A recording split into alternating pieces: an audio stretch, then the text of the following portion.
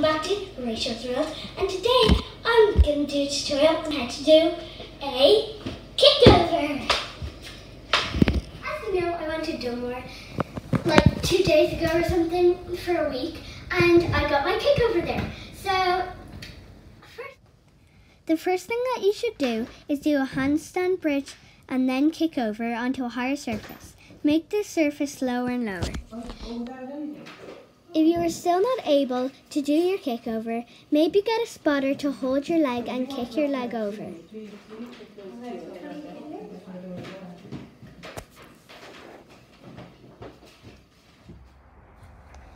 Then when you're confident, move to the floor.